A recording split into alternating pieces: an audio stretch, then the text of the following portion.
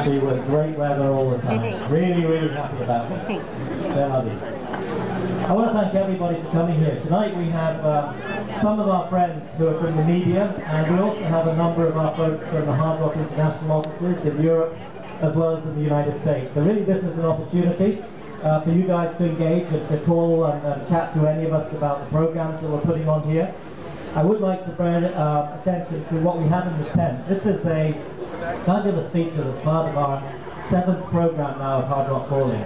In this tent you'll see items from some of our previous uh, ventures here in Hyde Park, but you'll also see some interesting memorabilia. You've got the uh, Art of Hard Rock, which is a traveling memorabilia exhibition that includes some really priceless and unique pieces of art.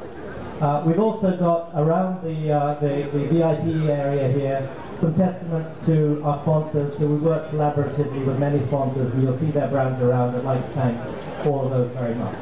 Now clearly we're hoping the weather does uh, change a little bit. Our headliners, as you know, are Soundgarden on Friday. We've got Bruce Springsteen and the E Street Band on Saturday. And we're, we're going to finish off with something pretty unique from Paul, Sam, Paul Simon and uh, you know the whole ensemble uh, um, basically uh, just a killer way to end the day I think on Sunday.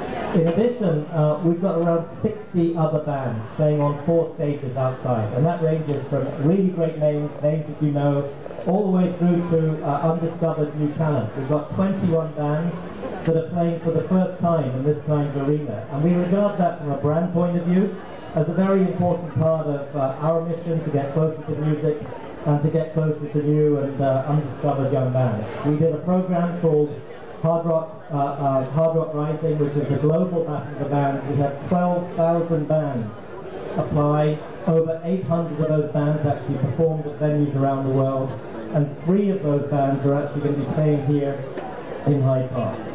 Uh, those uh, Hard Rock Calling or, or, Hard Rock Rising bands are going to be playing on a new stage each drop, the Hard Rock stage, each day is going to be sponsored and uh, emceed by different artists. The first day we got uh, Van Zandt, uh, a very close friend of the Hard Rock brand, Stevie, Little Stevie from uh, uh, the E Street brand, and also uh, Little Steven's Underground Garage. We've got Mike Dangerfield from the Guillemots, and uh, we've got James uh, from uh, Starsailor. So I think we've really got, you know, a, wonderful uh, series of events that, that embrace our desire to stay and to get connected with uh, new and unfounded talent.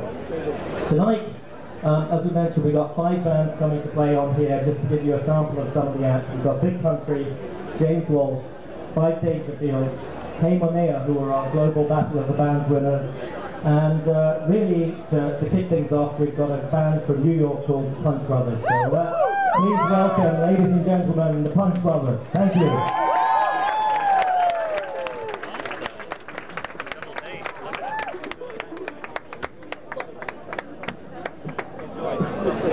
Howdy, folks. You with the event? Or? Yeah. Where, do you, where are you from? we well, I run a blog from London East.